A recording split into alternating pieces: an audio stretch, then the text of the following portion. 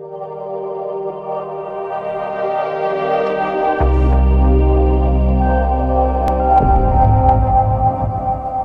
ULAK olarak ne yapıyoruz? ULAK olarak da çok hızlı şekilde onu da özet, özetleyeyim. Bir kere sistemi yerli ve milli imkanlarla, kendi yazılımcılarımızla, e, kendi protokollerimizle, kendi yöntemlerimizle uluslararası standartlara uygun olarak geliştiriyoruz.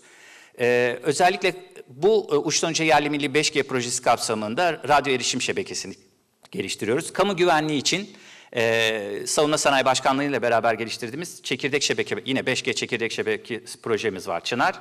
E, 5G'nin anahtar teknolojisi olan biraz önce bahsettiğim sanallaştırma ve e, bu sanallaştırılmış ağlar üzerinde network fonksiyonlarının kullanılmasına yönelik Maya Milat projemizi e, devam ediyoruz. 5G'nin fiziksel güvenliği için ARGE çalışmaları yapıyoruz. Sadece yazılımsal değil, e, hüzmelerin yani uzaya yaydığımız, çevreye yaydığımız hüzmelerin de daraltılarak insanların çevresinde bunların ulaşmasını engellemeye çalışıyoruz. Bunun yanında e, siber güvenlik kümelenmesiyle beraber milli ağ fonksiyonlarını e, kendi 5G ve SDN sistemimiz üzerinde kullanmaya çalışıyoruz.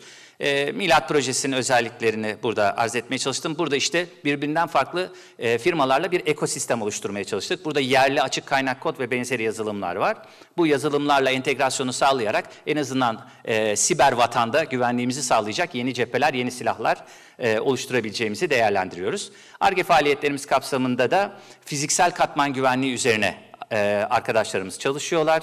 E, bunu uluslararası e, sahada da sunduk. Bunun yanında da e, fiziksel katman güvenliğinde ışınların, e, hüzmelerin küçülmesi, artması veya kişileri izlemesine yönelik e, çevreden bu bilgilerin alınmaması için de bir takım e, sistemler geliştiriyoruz. Ama her ne olursa olsun Sayın Cumhurbaşkanımızın daha önce ifade ettiği gibi e, yerli ve millilik e, bir güvenliğin bence e, başlangıç noktasıdır.